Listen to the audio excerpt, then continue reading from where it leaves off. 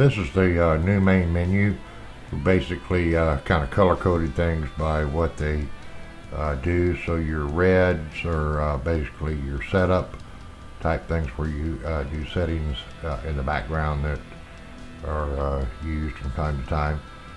up here at the top you got your light blue shaded and that's your order estimates and quantity pricing. Your catalogs are right here in the green. Uh, the black uh, with blue in the middle uh, are buttons that take you uh, out to the web. And then we have the review schedules, which we'll go over here shortly. The other thing to notice on the menu is the area here in white. This is actually reading uh, some information from the web and it's where we send you uh, notice information and uh, things that uh, we feel are pertinent information. So kind of keep an eye on that. Uh, it changes. If, if there's a change and you start it up, it'll, it'll uh, show the new change. You can also right click on there and do a refresh and it will load uh, whatever the most current news is out on the web. One of the changes that we made in uh, 5.16 is the garment catalog. So we're going to go over here to the garment catalog. The way that the uh, catalog handles images that it displays here, and these images are also used on uh, uh the quantity pricing uh, when you print it out uh, or save it to a PDF it now pulls the images from a directory on the computer, uh, on your computer. If you haven't already installed uh, the uh, Sanmar images and things, uh, there's a button right here which will take you out to the documentation on how to uh, go to Sanmar, uh, get all the images in a file, bring it in, and put it on your computer so that it will pick it up here in the catalog. So there's no you, no way you can click on this anymore and add the image here. The image has to be stored uh, on the uh, PC, and it will always have to be a JPEG.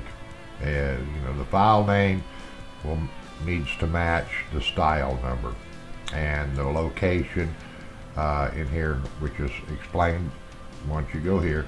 The location will be uh, where it needs to be for the vendor uh, that it goes to exit out of that.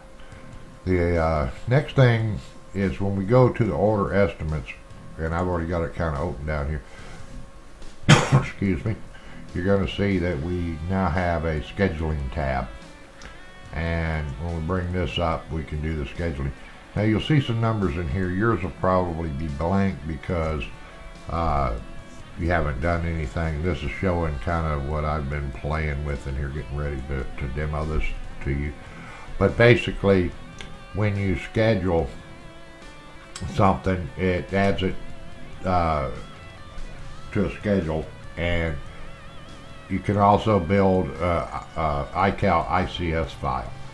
Uh, and then that file can be imported into uh, any uh, uh, it should be able to be imported into anything that can use uh, import an ICS file uh, like Google Calendars and uh, uh, Zoho Calendars. Uh, so when you go through, you can build your uh, scheduling or schedule the jobs once the customer's approved it, and you kind of figure out uh, when you're going to do it. You can schedule the jobs. Now, one of the things is I'm going to go ahead and reset this one because I want you to see this. When you first come in and you haven't scheduled anything, naturally all these fields down here will be blank and this up here will be blank but you're going to mainly notice that it has not been exported to an ICS file and that tells you uh, you know basically nothing's been done to it. Now uh, I'm going to go ahead and point out that you cannot schedule quotes. They have to be invoices. So one of the things that we're going to do is we can optionally put a uh, uh name in here. Uh, if you have a job name, it will it will pull that down when you build the file. Uh, when you hit this add to schedule, Uh, at minimum, if you don't put anything in here uh, and you don't have anything in job name, it pulls the invoice number down because this is what you're going to see on your calendar.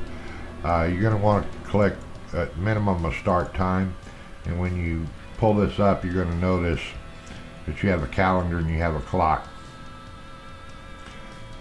You'll have to physically select the day. You've got to actually click on it. So even brings it up if it's blank up here, go ahead and click on the day. This is set for the first. Well, let's just say we're going to schedule this for the third now. So we've gone this to the third, and we got it 12 p.m., uh, which will be, uh, you know, uh, noon, uh, is when we've got it scheduled uh, to start. So we're going to click on that. Uh, we're now going to change this one to the third also, just so that we have that. And in the notify, we have the notify is, I'm telling it I want to be notified 45 minutes before uh, this is scheduled to start and to notify me by pop-up. If I go in the notify, I can actually go down and select what I want and I can do this in email. Uh, location or equipment will actually show up on the where and the calendar so you can either put like in the shop or you can actually name a piece of equipment like the manual press, the auto or whatever you want. Uh, priority doesn't really do much on Google Calendars or uh, Zoho Calendars yet, but it is here. and You can select from 1 to 10 if you want to. Like I said, it doesn't really do anything. And then the class is public, private, and confidential. It's going to default to public. What that basically means is if you're sharing your calendar with uh, other people, if it's public, they'll see the schedule. Uh, if it's private, they won't. So we're going to go ahead right now and we're going to go ahead and add this to the schedule. And the minute we do that, you'll see the reset export flags comes up. And you'll also notice that this is starting will be included in the next ICS file. Uh, we haven't built an ICS file yet, so we're going to do that right now. I'm going to click to build the ICS file. It's asking for a name, and it's going to default to a file name default. Now, if you already have a file name named that, it is going to totally overwrite it. Normally this is not going to be a problem unless you schedule something and then you decide you're going to add something to the schedule and then you try to do it again. What's going to happen is you're going to wipe out uh, your uh, uh, schedule information if it's already been uh, sent out. And uh, so just be mindful of that if you're building uh, multiple schedule files. And I want to point out too that uh, when you click this build ICS file, it can be done from within inside any invoice. It doesn't make a difference. So if you've got 15 jobs that you set up schedules for and they have not been exported, when you click that build ICS file. It's going to go through uh, the data. It's going to find those 15 schedules and it's going to add them to the file and it's going to mark them that they have already been exported to the file so that it won't export them again. So anyway, uh, we're going to go ahead and leave this as default and we're going to we're going to build the file. Now you'll notice that it says it has been exported to the ICS file. Uh, we could add comments in here if we wanted to, and those will show up in, in another uh, area on the, cal uh, the calendar. So, we basically, like I said, we've got, uh, we've gone over how to uh, schedule. There's another place that you can go in here now that we've got our schedule. We can review schedules. And you'll notice that we only have two invoices in here on the demo. And naturally, uh, this one had a job name, so it picked it up. And we can look at these and and we can see that uh, uh, you know we get our invoice dates, our invoice numbers, our job names. It's flagged for export. That the flag for export means that you would click the blue button over there on the uh, invoice to build uh, to add it to uh, uh, the scheduling to flag it to be added to the scheduling. So that's what that means. Uh, we also uh, have here exported uh, to file and uh, if we click on these now you'll see that green bouncing up and down but basically as you get more and more in these it just disappears on the one that you're highlighted on. So it's saying that both of these are uh, exported uh, to the file and it shows us our scheduled dates. We can select any one of these and edit it. So if we want to do that, we want to edit selected, we could come into here and we could edit uh, the deal. Uh, if we wanted to do that, we'd want to reset the export flags and then edit it and then add the schedule and all that kind of stuff. There again, when you go to build that ICS file, if you have not uploaded uh, the other ICS file to your calendar uh, and you don't give the file a new name, it is going to overwrite it and you're going to lose whatever you scheduled that has not been sent to a calendar yet. So we're going to go back to schedules. Uh, the other things you can do, and there's no sense in me going through it here, but uh, and actually showing you with only two, but uh, if you get a lot of stuff in here, when you first come into the screen, it's going to list every invoice.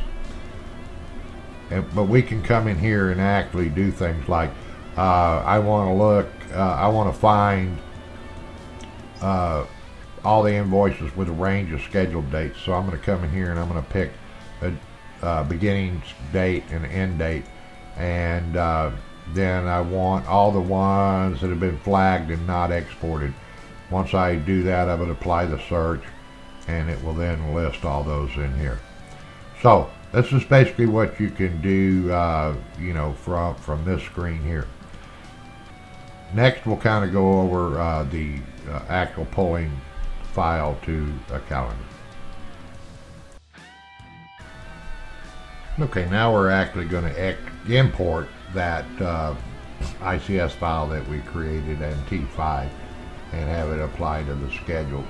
Now, this is Zoho Calendar. Uh, like I said, you can do the same thing with Google Calendar. I just find Zoho Calendar a little easier uh, to deal with about finding out where stuff is. So uh, what we need to do to import in Zoho Calendar, and if you're doing it in Google, it's sort of the same. You just have to do that.